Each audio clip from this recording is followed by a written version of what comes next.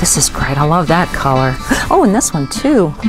Oh, hi there. I'm finding stuff that I even I didn't know was here in the secret closet. I've lost track of all this stuff I've been collecting for so many years.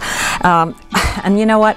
Now it's finally time you know, before the closet explodes, to pass it on to you guys. But before I do that, I'm going to admire everything, show it off, and we're going to talk about and learn a few things about my favorite thing, vintage fashion. Starting with this jacket, very typical 40s jacket.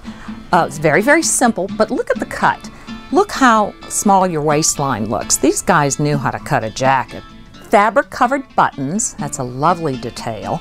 Um, it also has, this piece has what I call petal, you know, petal detail. Here, for absolutely no reason other than it's cool. And then here on the pocket, see, more of that little detail. Oh, look at this. This is another example of a um, late 40s, early 50s jacket.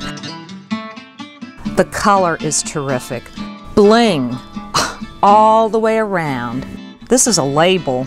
Somebody I looked up, his name is Paul Parnes. He was a big deal from the 30s to even the 60s. Tip of my uh, man's fedora hat to you for finding the secret closet and you got to come back soon because goodness knows we got plenty more stuff.